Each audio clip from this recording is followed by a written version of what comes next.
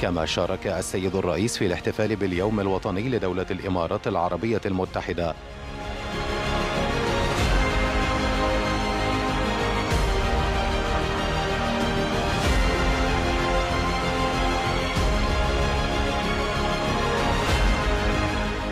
وعقب انتهاء الزيارة غادر السيد الرئيس عبد الفتاح السيسي مدينة دبي عائدا بسلامة الله إلى أرض الوطن.